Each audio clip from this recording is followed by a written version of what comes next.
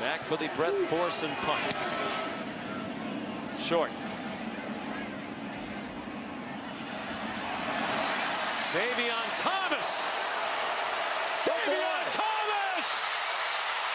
Touchdown, Mississippi State!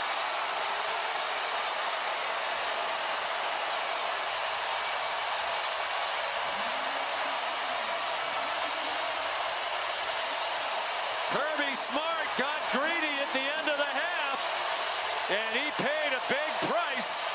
Well aware that Mississippi State has some of the best special teams in the country. Well, Kelee Ringo missed the tackle. He was the first